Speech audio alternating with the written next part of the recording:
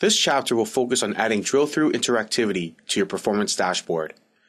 Prior to starting this tutorial, it is important to note that the business metrics must be defined appropriately for drill-through.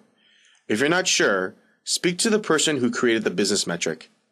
It is highly recommended to watch the tutorial adding drill down to a performance dashboard and adding parameters to a performance dashboard, or this video won't make much sense. For this tutorial, we will be using the KPIs and datasets from our Synatica 2010 sample project. Let's start by creating a new dashboard.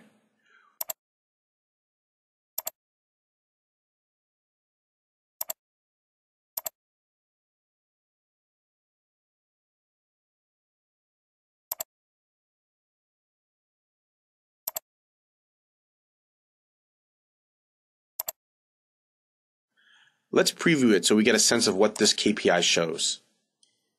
Before we can continue, we have to understand what kind of drill through we want to do on a business metric.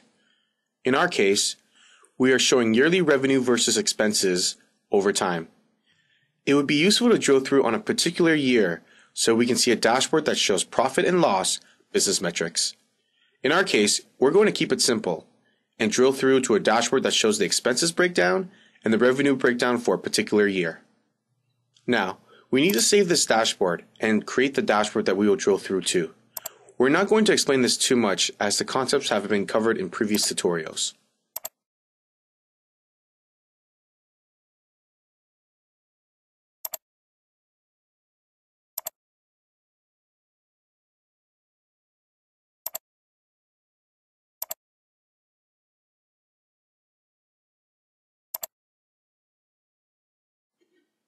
We're going to quickly apply settings to these visualizations so the dashboard is a little easier to read. However, we will skip this part as these topics are covered in subsequent tutorials as well. In short, the dashboard we created shows the revenue breakdown by product group and the expenses breakdown. In addition, we can choose which year we would like to look at. Okay, let's check this in and open the executive summary dashboard we started with.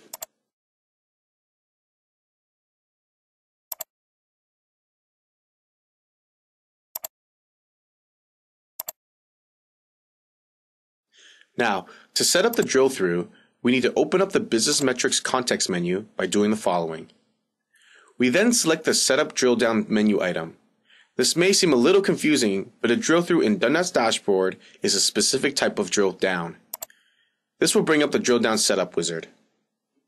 There are many ways you can drill down.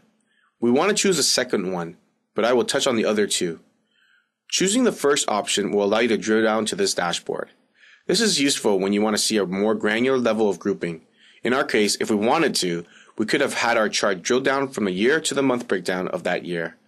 In addition, you can link to a web address by selecting the third option. Subsequent tutorials will cover these two other types.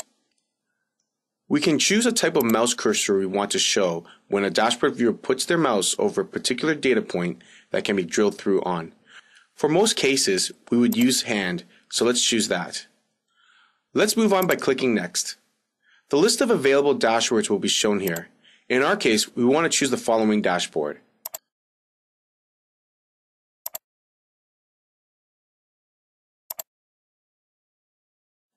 Let's move on by clicking Next. Now, we need to pass the values associated with this drill through.